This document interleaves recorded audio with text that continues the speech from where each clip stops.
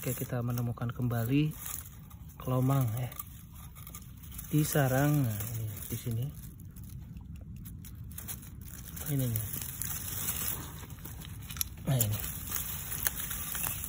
Ini ada adaan ya.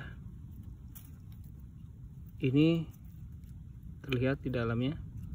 Kalau keluar itu harus ditiup.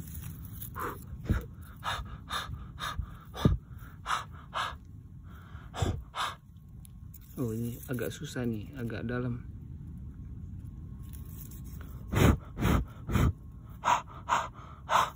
Oh ini agak susah, tapi ini ada ini. Kita akan ambil ya nanti buat konten di rumah.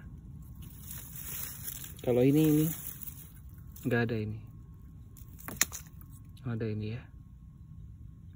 Sip, kita ambil ya.